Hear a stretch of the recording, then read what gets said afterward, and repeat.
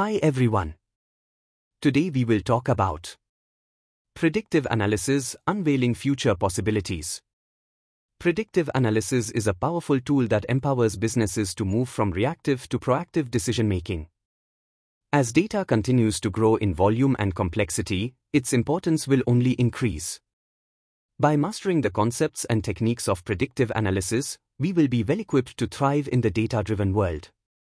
Defining predictive analysis, looking beyond the horizon. Predictive analysis is a branch of advanced analytics that uses historical data to forecast future events or behaviors. It's about moving beyond simply describing what has happened, descriptive analytics, or understanding why it happened, diagnostic analytics, to anticipating what will happen. Think of it like this. Descriptive analytics, we sold 5 lakhs units last month. Diagnostic analytics, we sold 5 lakhs units last month because of a successful marketing campaign. Predictive analytics, based on past sales and marketing data, we predict we will sell 6 lakhs units next month.